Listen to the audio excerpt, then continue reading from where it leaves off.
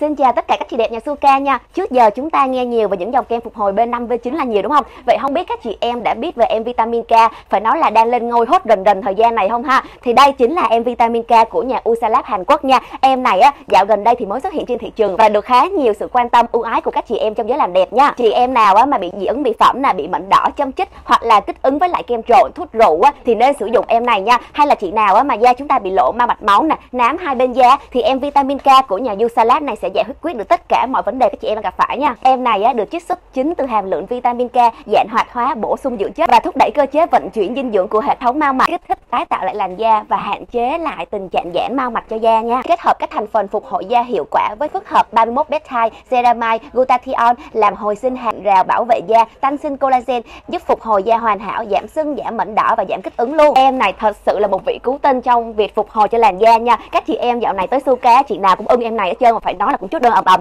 cho nên là các chị đẹp ơi tội tình chi mà không order liền với em này nha